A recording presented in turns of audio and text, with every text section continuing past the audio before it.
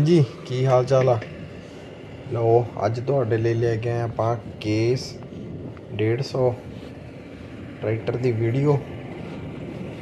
ਇਹ ਇਹਦੇ ਮਗਰ ਪਾਵਰ ਹੈਰੋ ਪਾਈ ਵੀ ਅੱਜ। 145 ਐਚਪੀ ਦਾ ਟਰੈਕਟਰ ਆ।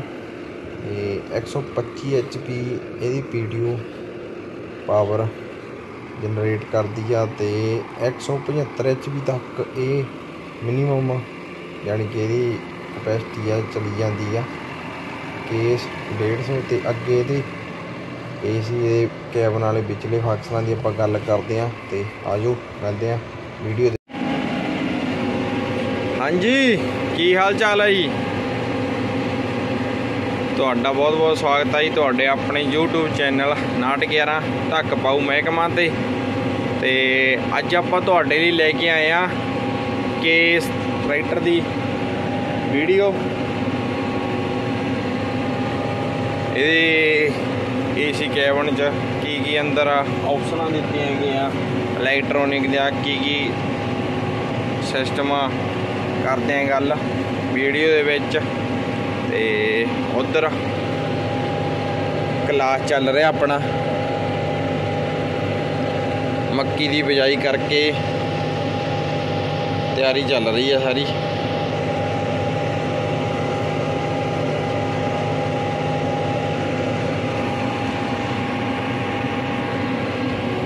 ਇਹਦੇ ਆ ਗਈ ਹੁਣ।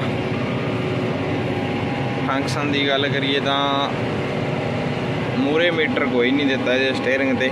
ਐਡਜਸਟੇਬਲ ਸਟੀਅਰਿੰਗ ਆ ਤੇ ਆ ਚਾਬੀ ਹੈ ਇਹਦੀ। ਇਹਦੇ ਨਾਲ ਸਟਾਰਟ ਹੋਣਾ ਇਹਨੇ। ਇੱਥੇ ਲੱਗਣੀ ਆ। ਫੇਰ ਉਹ ਚਾਬੀ ਨੇ ਕੰਮ ਕਰਦਾ ਨਹੀਂ, ਕੰਮ ਨਹੀਂ ਕਰਦਾ। ਤੇ ਉਸ ਤੋਂ ਬਾਅਦ ABC ਗੇਅਰ ਆ। ਤੇ ਇੱਕ ਗੇਅਰ ਦੇ ਵਿੱਚ 8-8 ਗੇਅਰ ਦਿੱਤੇ ਹੋਏ ਆ। ਹੁਣ ਇਹ ਪਹਿਲੇ A ਦੇ ਵਿੱਚ ਚੱਲ ਰਿਹਾ ਹੈਗਾ। 2020 ਚੱਕਰ ਆ ਗਏ।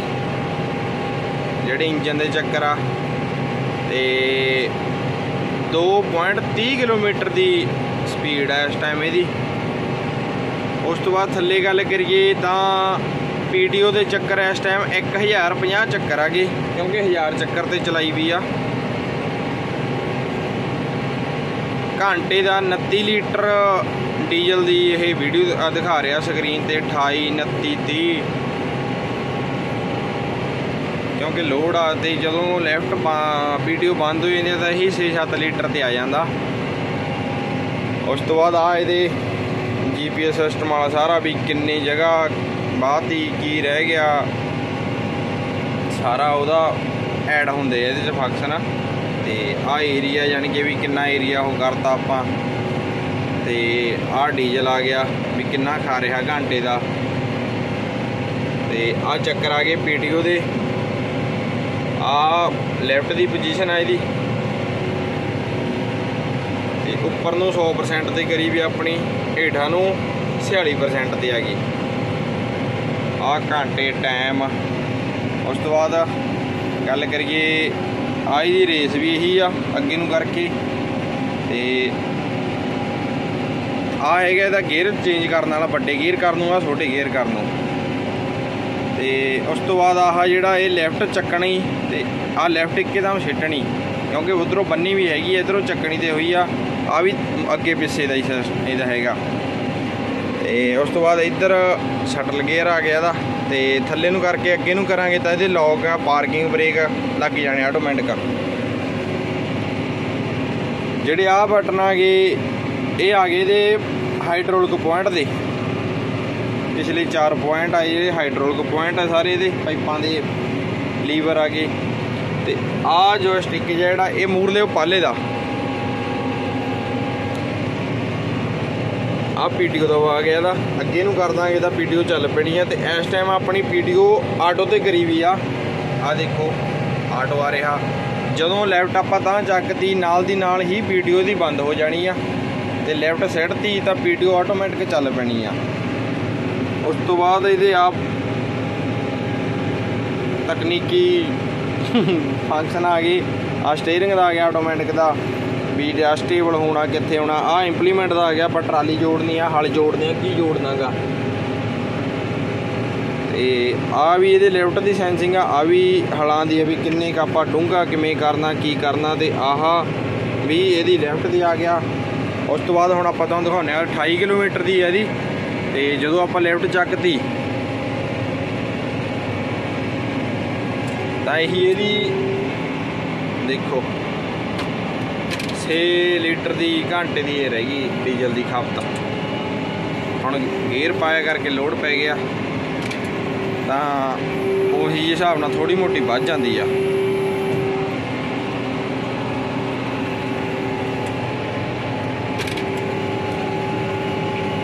ਮੱਕੀ ਦੀ ਬਿਜਾਈ ਆ ਤੇ ਤਾਂ ਕਰਕੇ ਬਾਣ ਤਿਆਰ ਹੋ ਰਹੇ ਹੈਗੇ।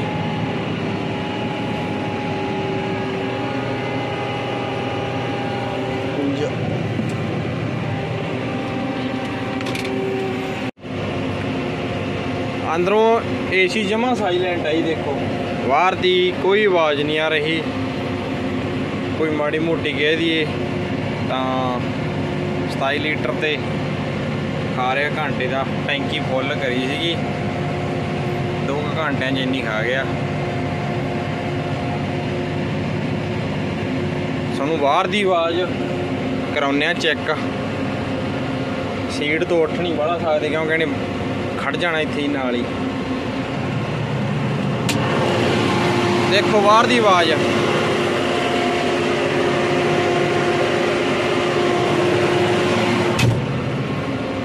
ਹੁਣ ਫੇਰ ਸਾਇਲੈਂਟ ਆ ਜਮਾ। ਪਤਾ ਨਹੀਂ ਲੱਗਦਾ ਵੀ ਕਿੰਨੀ ਕੁ ਰੇਸ ਤੇ ਚੱਲਦਾ। ਬਾਹਰ ਦਾ ਕੋਈ ਇੰਜਨ ਦਾ ਖੜਕਾ ਨਹੀਂ, ਕੋਈ ਕੁਛ ਨਹੀਂਗਾ